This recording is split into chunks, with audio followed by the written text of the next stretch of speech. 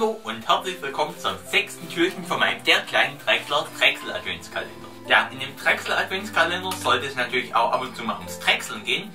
Deswegen habe ich mir gedacht, dass ich doch einfach eine Videoserie machen könnte, immer sonntags, dass ich da eben so ein bisschen einen Drechselkurs mache.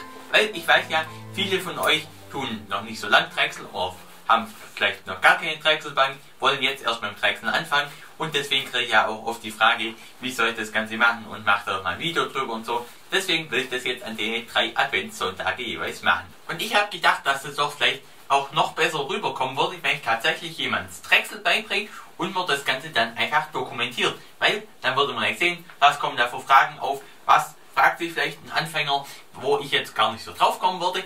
Deswegen machen wir das heute zu zweit und da will ich mich heute mal bei uns im Wald mit jemandem treffen, der wo es jetzt auch mal das Drechsel anfangen will, weil heute ist wunderbarstes Winterwetter, da will ich auch noch ein bisschen raus, nämlich hoch der mit, muss noch ein paar Bäume hoch in und da soll ich den dann treffen. Also, dann gehen wir zuerst mal in den Wald.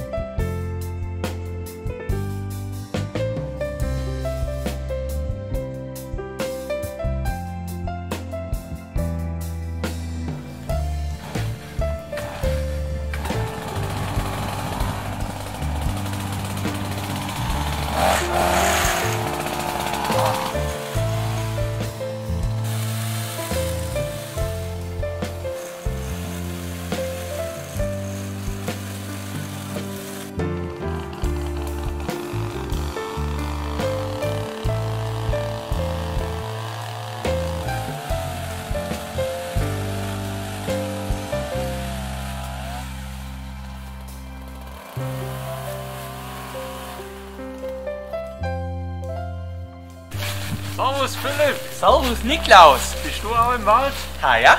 ah ja, wir haben uns ja verabredet. Hast du ein neues Gerät? Ja, ein ich noch gar nicht lange. Haben wir jetzt erst im Advent zugelegt. Ah, schön. Darf ich den auch mal probieren? Macht man das mit dem Beimler? Beimler? Zum Fichte, zum Kirschbein. Ah, das ist ja etwas Geschicktes. Da kann man dann ein Beimler. Laufasten, ansägen. Ja, so du als Niklaus hast ja gewiss auch viel mit Christbaum zum tun, Oh, jede Menge. Ich kann dir sagen, ich kann keine mehr sehr ja. nach Weihnachten. Ja, oder gerade auch wenn sie in der Stube standen, dann muss sie halt oben in der Spitze ein wenig ansägen, ist nicht ganz neipasst, das ist halt schon oben. Das ist so, denk schon geschickt. Ja. Darf ich den auch mal ausprobieren? Ah ja, komm, dann ziehen wir noch aus, dass du auch ein wenig Heere beim Sägen kannst. Ah, das ist ja Kehl. Ja, ja. Was hat er? Vier Meter? Ja, vier Meter, über vier Meter sogar. Wow.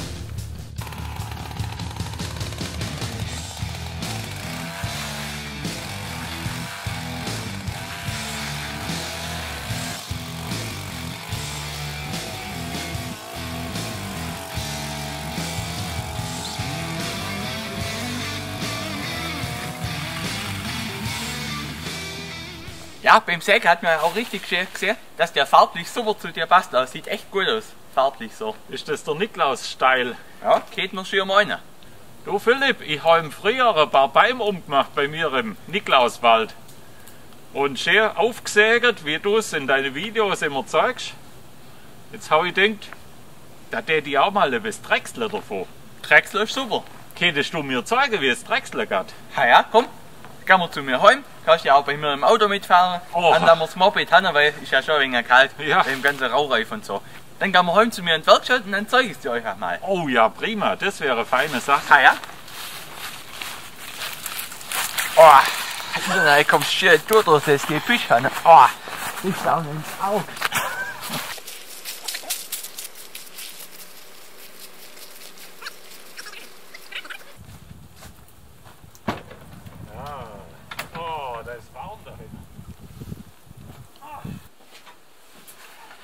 So, jetzt sind wir hier im Werkstättle, in meinem schönen Drechselwerkstättle. Oh, oh, oh. Oh, schön. Da war ich ja letztes Jahr schon, Stimmt. wo ich die gefunden habe. Ah ja, da haben wir es verpasst. Ja? Oh, du, da hat mein, mein Kittel hat noch bis Ostern hat er nach Rauch gestunken, Echt. wie wir den Leberkäse da gemacht haben. Oh je, oh je. Hast du es aus dem Bart wieder rausgekriegt? Da ist doch ein wenig ein Kind. Hat's immer noch Wicke drin. Ja, ich hätte jetzt mal gedacht, als erstes befassen wir uns mal ein bisschen mit der Theorie vom Drechsler, was man alles so braucht und so, was du dir auch zulegen solltest, als erstes, bevor wir dann wirklich loslegen können. Und da fangen wir einfach mal mit dem Drechselbänkle an. Ja, das ist gut. Weil ich habe ja bisher bloß ein bisschen Werkstatt zum meinen Schlitter reparieren. Oh, apropos Schlitterbauer. Ja. Ich hätte auch Frage, und zwar, wenn man sich von dem Schlitter... Ja. So ist mir saugegangen am Anfang, wie ich noch kein Niklaus war. Echt? Ja. Ah, Und dann, aber als Niklaus brauchst du ja einen Schlitter und da musst du genau wissen, wie das geht. können wir dann im nächsten, im nächsten Adventskalender mal machen. Das machen wir. Schlitterbauer mit Niklaus. Ja, was für ein Drechselbänkle hättest du mir denn empfehlen? So ein Käls wie du hast, oder? Ah, das ist immer eine schwierige Frage. Das fragen mich Leute auch recht oft, was, sie, was ich ihnen denn für eine Drechselbank empfehlen könnte. Und dann muss ich immer schreiben, hm, ja, schwer zu sagen. Ich kann euch natürlich meine empfehlen, die ist gut, aber die ist eben sau teuer und auch saumäßig groß und saumäßig schwer. Und nicht jeder braucht so eine Drechselbank. Weil man kann auch mit einer kleineren oder mit einer billigen, billigeren Drechselbank kann man auch was anfangen. Wie viel Platz hast du denn? Ja, das ist so eine Sache. Innen drin in der Werkstatt nicht so viel. Also wäre es vielleicht eher eine, wo man auf einen Tisch draufstellen geht, oder? Ja, das, das, man könnte es auf der Werkbank draufstellen. Ja. Und die kann man dann ja auch weg da, wenn man gerade nichts drechselt, kann man sie in irgendeine Eck stellen oder so. Ja. Und wenn man dann etwas drechseln will, holt man sie raus und kann drechseln. Und man kann die auch mal mitnehmen, Die kann man natürlich auch mitnehmen. wenn die den Kindern was vordrechseln will. Zum Beispiel unter dem Ja. Baum. Ja. Gut. Und die sind natürlich auch ein wenig billiger. Also die kriegt man schon für 300 kriegt man schon so relativ einfach bis dann 1000 Euro so. Und da kommt natürlich auch ein wenig aufs Budget an. Wie viel will du denn ausgeben? ich lass mir die schenken. Ah, zusätzlich zum Hochentersten. noch. Ja, genau. Ah, no. Dann, Das bei uns, da schenkt man alles. das ist gut. Ja, aber so arg viel soll es natürlich jetzt sein, oder? Ja, Wie ist das? also es ist natürlich so günstigere ist meistens nicht so gut wie teurere. Was echt empfehlenswert ist, ist eine stufenlose Drehzahlregelung. Da tut man sich deutlich leichter und sie sollte natürlich auch ein paar Watt haben. Weil manche haben da ja wirklich bloß 200, 300 Watt und das ist einfach zu wenig. Wenn man wirklich richtig drechseln will, sollte sie mindestens so 500, 750 sollte es schon haben. Ja, und außer mit Drechselbänkle, was brauche ich denn da noch? Ich sehe, du hast eine ganze Reihe Eise. Ja, also Drechseleise braucht man schon auch, weil ohne Eise kann man nicht drechseln. Da gibt es natürlich auch tausende verschiedene und da ist als Anfänger gar nicht so einfach das Richtige rauszusuchen. Weil es geht alle möglichen Größen, alle möglichen Formen und auch in alle verschiedenen Preisklassen. Und was mache ich jetzt als Anfänger, Niklaus? Also- Dass ich mich nachher nicht ärgere. Ja, ja, Aber trotzdem nicht gleich 1000 Euro für Drechseleise ausgeben. Am Anfänger Niklaus speziell, der hätte jetzt äh, Drechseleise-Set empfehlen. Ich habe mir damals auch ein recht günstiges von Holzmann, war das, aber das geht auch von alle möglichen andere Firmen, gekauft hat damals so, glaube ich, 100 Euro gekostet, waren 6, 7 Drechseleise und die habe ich auch immer noch in Gebrauch, also die funktionieren doch, auch aus HSS, das ist wichtig, weil alles andere hm, geht auch, aber HSS ist nicht schlecht und das war eigentlich ja ein relativ günstiges Set, aber da hat so ziemlich alles dabei, was man braucht. Und dann nachher, wenn man dann Schale, Drechsel und so anfangen will, dann sollte man sich vielleicht nochmal eine Schalenröhre kaufen. Da habe ich mir dann damals die Stubai gekauft. Das ist glaube ich eine 16er, also schon eine etwas größere, die dann auch mit Fingernagel anschlifft. Und das ist von Anfänger mal so recht gute Ausstattung. Ja, gut, Eise haben wir. Aber wie spannst du dein Holz ein? Was brauche ich da? Bloß so Spitze, zwischen Spitze oder ein Backerfutter? Ja, Also da braucht man auf jeden Fall so Mitnehmerspitze, das hier ist ein Vierzack-Mitnehmer, aber das ist bei den meisten Drechselbänken eigentlich auch direkt dabei und da kann man die da auch nehmen, wo dabei sind, die funktioniert eigentlich. Dann braucht man noch eine vernünftige Spitze, äh, mitlaufende, eine mit Kugellager, da würde ich euch aber stabile empfehlen, weil bei den Maschinen sind zwar oft auch schon welche dabei, aber die sind meistens so wackelig, dass das dann gar nicht so viel bringt. Also dann nochmal ein paar Euro in eine vernünftige Spitze investieren, lohnt sich auf jeden Fall. Also mit so Spitze und Mitnehmerkeit eine Holzscheitel einspannen und einen Kerzenständer drechseln. Ja, zum Beispiel, das kann. Aber wenn man dann später noch ein wenig mehr drechseln will, vielleicht auch mal Schalen, Teelichthalter, sowas, da empfiehlt sich dann Backenfutter noch, weil das, da kommt man eigentlich beim Drechseln kaum drum rum, wenn man nicht irgendwas spannen will, richtig, und dann zum Beispiel auch an der, am Ende, zum Beispiel Neibohrer von Kerzenständer oder so, da braucht man immer ein Backenfutter. Aber das Problem ist halt, die sind meistens nicht ganz billig, also wenn da welche sagen, ja, sie wollen für 100 Euro oder 200 Drechsler anfangen, da ist das dann natürlich mit dem Backenfutter immer schwierig. Weil ich habe zwei verschiedene, ein etwas günstigeres, etwas teureres, Nova G2 und G3. Das G2 ist das bessere, aber das kostet dann auch 200 oder so.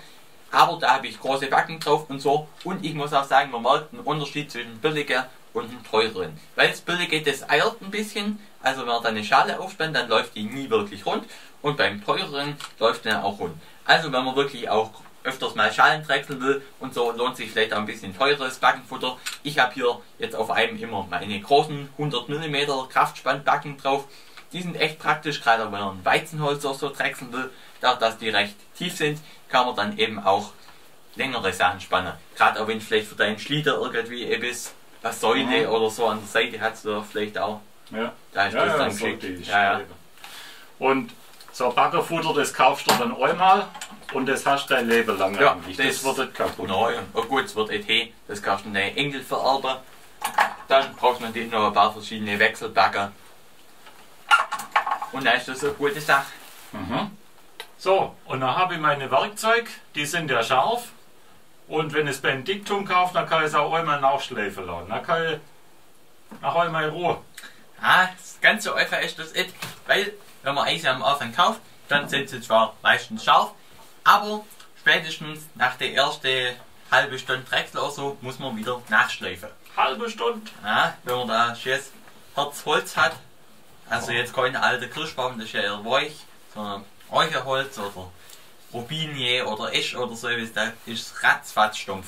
Also muss ich selber schleifen können, wenn Das ich muss werden will. Weil irgendwo zum Schleifen nachbringen kann man zwar theoretisch auch machen, aber macht meines Erachtens nach keinen Sinn, weil es einfach nicht umsetzbar ist, sobald man ein wenig mehr Drechsel will. Mhm. Ja, das bedeutet, man braucht irgendwas zum Schleifen. Hast du da schon irgendwie eine Maschine oder so? Ich habe so einen Doppelschleifer, so einen kleinen. So ein ganz normaler kleinen, das hat, Ja, genau. Ja, das haben wahrscheinlich auch die meisten von euch. Irgendein alter, billiger, oh, die kostet ja auch neu, die Welt so billiger, 30, 40 Euro. Mhm. Und dann kann man da auch schon loslegen. Das reicht auch prinzipiell schon, damit kriegt man seine Eise scharf, aber das ist gar nicht so einfach, so freihand schleifen. Aber ich kann es euch ja mal schön zeigen.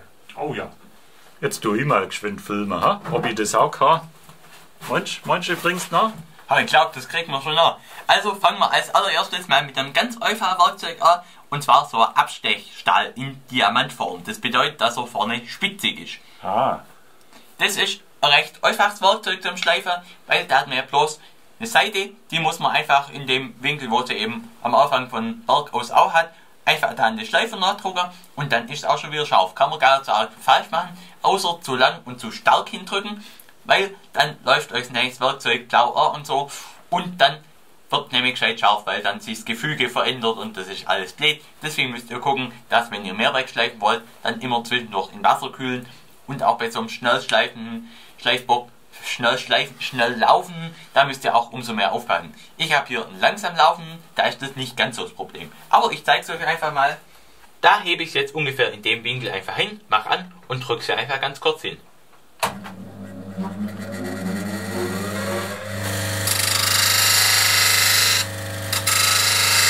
es funkert wie ein Silvester. So, und jetzt ist das Eis wieder scharf und man kann damit wieder weiter drechseln.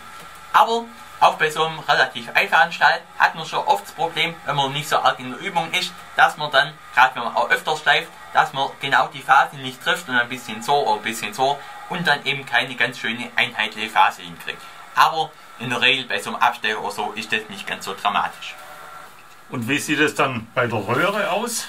Ja, nehmen wir hier einfach mal so eine ganz einfache, billige, weil da kann ich jetzt auch nicht arg viel He schleifen, weil ich muss auch sagen, ich bin komplett aus der Schleifübung raus und vor allem habe ich jetzt auf meinem Schleifer auch bloß eine grobe Scheibe drauf. Deswegen gehe geh ich jetzt an meine normale, wo ich so normalerweise nehme, nicht ran, weil ich da eben auch die Einstellung am Schleifer habe und so.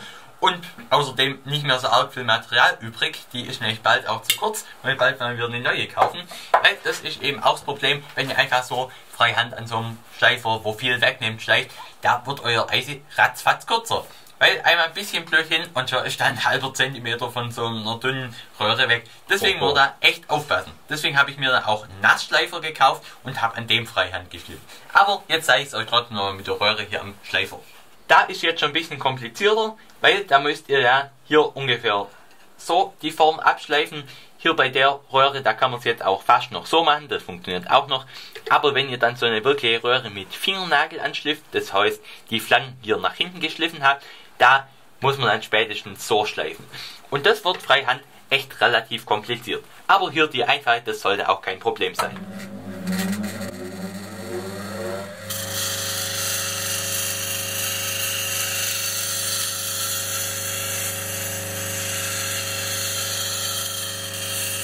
Jetzt ist die mal scharf. Die ist auch so scharf, dass er jetzt mit der problemlos drechseln könnte, obwohl, es ja, obwohl ich es ja an einer wirklich recht groben Scheibe geschliffen habe.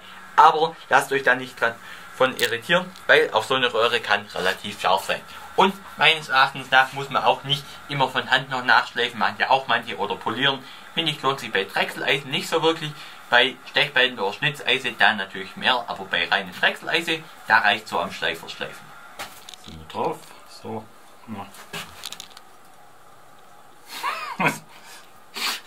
Blöd. Sieht scheiße aus, ja? Aber voll. Die Kamerafrau? Keine Ahnung. Fort. Schwer zu sagen. So. Warten auf. Guck Nasennuss. So. Ja, die muss man doch sehen, rote. Rote Rentiernase. Schreibt mir in die Kommentare, ob beim Niklaus Nas rausgucken muss oder ob die. Da hat einen Mundschlitz. Irgendwo. Der ist da. Da guckt Nas raus. Gut, Nas gucken aus. Also.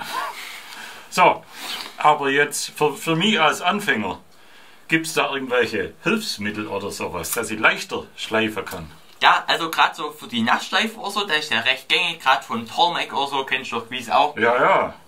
Ja, Körbscher. Da gibt es schöne Vorrichtungen und das macht es am Anfang natürlich deutlich leichter zum Schleifen. Weil gerade wenn ihr nicht oft Drechsel oder Drechsel anfangt, dann kann es ganz schön schwierig sein, da einen schönen Schliff hinzubekommen und gerade auch wenn man relativ teure Drechseleisen benutzt, weil ein wirklich gutes Drechseleisen kann ja auch schnell mal 70, 80 Euro kosten. Und wenn man dann beim Schleifen das verkackt und das dann nach einem Jahr runtergeschliffen ist, kann das auch so eine relativ teure Angelegenheit sein.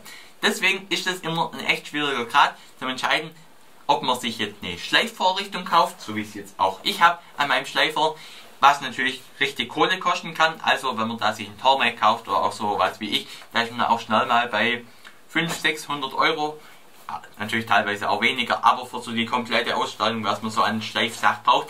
Und das ist natürlich ganz schön viel Kohle. Aber dafür bekommt man da auch als Anfänger einen, einen wirklich schönen Schliff hin und ich muss auch sagen, ich nutze mein Schleifsystem gerne, weil da kann ich immer eben schön vom Winkel her wieder schleifen. Mit einer CBN-Scheibe wird das Ergebnis super, ich nehme nicht arg viel Material weg. Es funkt auch nicht so arg, oder beziehungsweise bei HSS funkt es eigentlich so gut wie gar nicht. Ist natürlich auch schön, wenn man in einer Drechselwerkstatt, wo ja. viel Holz rumliegt und so schleift. Und da muss ich sagen, damit bin ich echt zufrieden. Und ich kann euch ja auch mal kurz zeigen, wie schnell das mit der Vorrichtung geht. Einfach ja. mal so eine Röhre schleifen. Hier so der Klassiker, meine Schalenröhre. Und weil das geht nämlich wirklich ruckzuck. Oder kann das ihr auch machen dann ja. nachher? Ja, kannst du auch mal machen. Dann stelle ich es eingeschwind und ja. dann kannst du tun machen. Oh ja. So, wie funktioniert das jetzt? Ja, das ist eine relativ einfache Röhre, die muss bloß hier so zum Schleifen so gedreht werden. Deswegen geht es recht einfach. Hier auf. Dann gucken, dass Phase überall schön anliegt. Am besten, so, wenn man Licht dahinter hat, dann kann man da einfach durchgucken. zack, anziehen, fertig, eingestellt. Dann anmachen.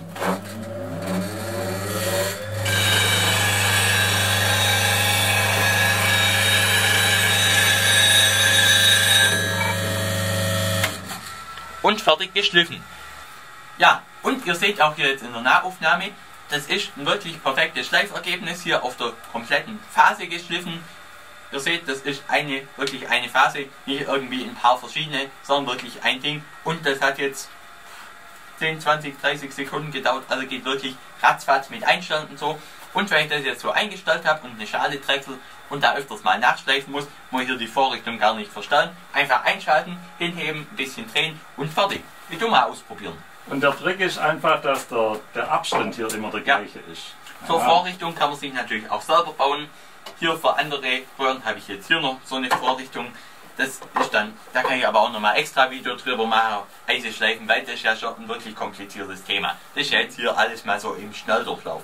Aber für Röhren mit Fingernagelanschliff, so wie die hier, braucht ihr Na, hier noch so eine Vorrichtung, damit ihr eben hier so bewegen könnt. Kann ich ja nachher auch nochmal zeigen. Wo du drauf achten musst, ist, dass du eben nicht zu weit drehst, damit du eben hier nicht die Ecken wegschleifst, sondern da musst einfach so weit drehen, bis man da überall alles geschliffen hat und gut ist. Aha, und der Winkel, der stimmt jetzt schon, Der stimmt du die jetzt. Entfernung eingestellt hast. Ja, und jetzt musst du einfach bloß mal ganz ohne Druck einfach ein bisschen drehen.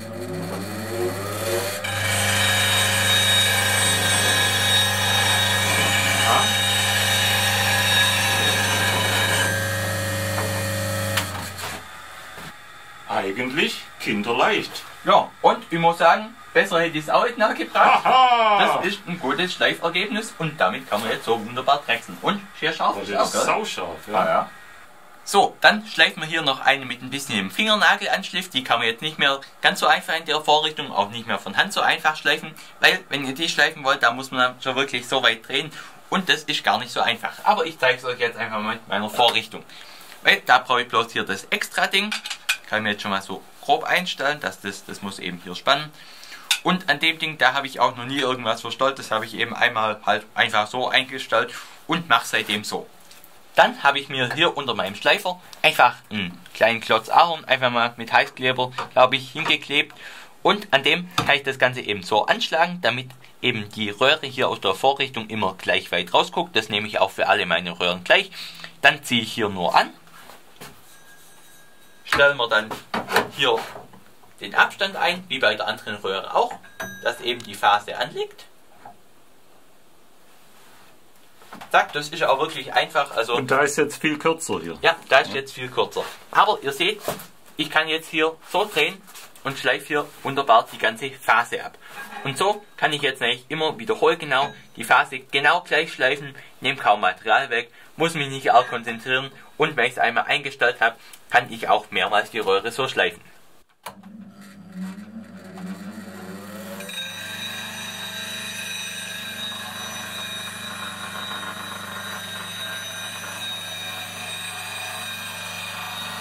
Du schwätzt einmal von Fingernagel. Was ist denn das für ein Anschliff?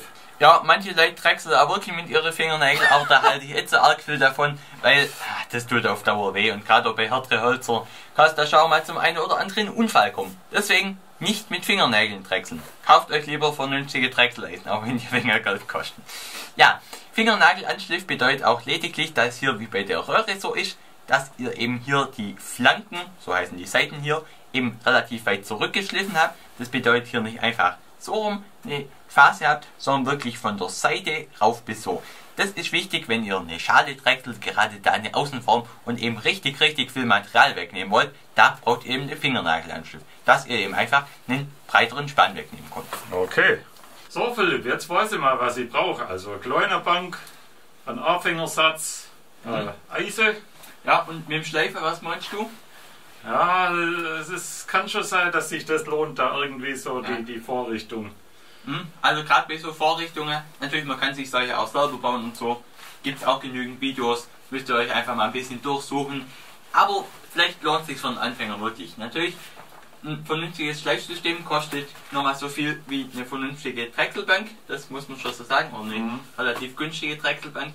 Aber wenn ihr eben keine vernünftig geschliffenen Eise habt, dann bringt euch die beste Drechselbank nichts. Weil dann kann man einfach nicht vernünftig drechseln. Und das ist auch bei den meisten Anfängern das Problem, dass sie einfach mit stumpfen Eisen arbeiten.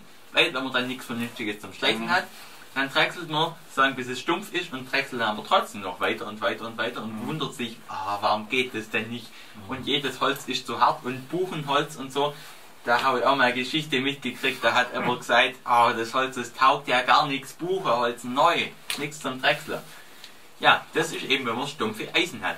Weil ein Buchenholz geht wunderbar zum Drechseln, Eiche geht auch wunderbar zum Drechseln, vorausgesetzt man hat scharfe Eisen.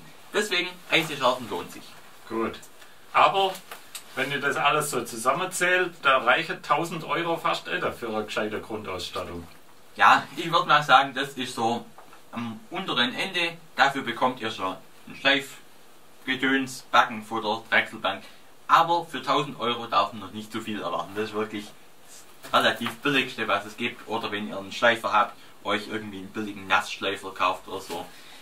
Dann kommen wir vielleicht mit 1000 Euro hin, aber so eine wirklich vernünftige Grundausstattung würde ich fast so mit 1500 oder so rechnen, weil dann kommen immer noch irgendwelche Sachen, wo man braucht. Dann braucht man das und noch einen Planscheibenring und, äh, und zum Ah. Schleifen noch irgendwas und so. Dann lappert sich da gerne mal zusammen. Gut, aber jetzt weiß ich mal Ja. so ein bisschen, um was Ja, es geht. Dann machen wir auch für heute mal mit dem Video Schluss, weil haben wir lieber nächsten Sonntag nochmal alles, so Ja. ja. das jetzt alles zu lernen. Da wird dann aber drechselt. Da wird dann so richtig Drechsel. Oh ja, super. Dann mache ich heute für die das Türchen zu, weil du so viel schwätzen müssen. So machen wir's. Und die wilde Sache.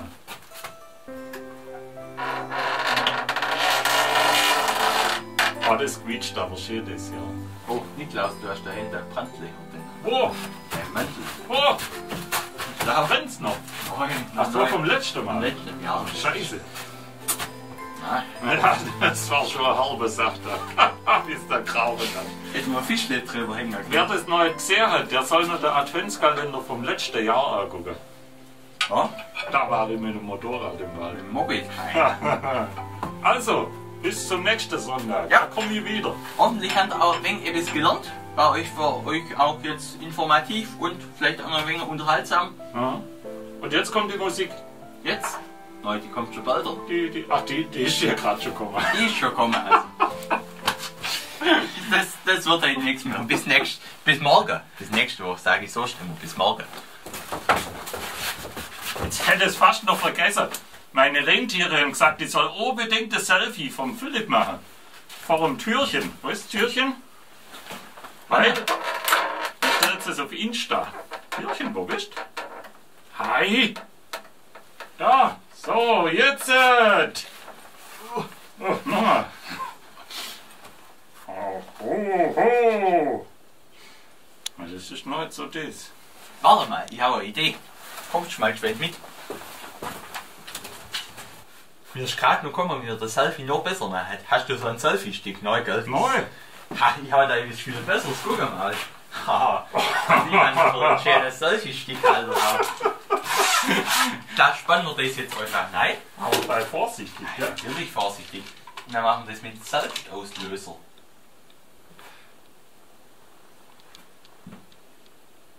Jetzt? So, dann machen wir dann noch so einen Selbstauslöser 10 Sekunden. Hm? Ha, und dann probieren wir es doch gerade nochmal. Nimmst du es gerade? Ja. Machen wir es da hin. Ha. Oder vom, ne, vom Ach, schon vor dem Türchen. Genial. Es ist ja voll genial. Jetzt kriegt man das Türchen noch. Das Türchen, das stand immer davor. Das ist ein wenig schräger. Ein neuer, erstmal. Da so Hiebe und schon ein wenig noch. Ja. So. Äh, jetzt muss man aber drauf drücken. Hoho! Für Insta für Rentiere. Die haben nämlich einen extra Insta-Account. Ich kann es ja auch noch auf meinen Insta-Account der kleinen Drechsler stellen, falls nicht alle bei, bei den Rentier vom Niklaus gucken, weil, ja, der wird nicht so bekannt Oh, sein. die haben Followers, das glaubst du nicht. Echt. Ja.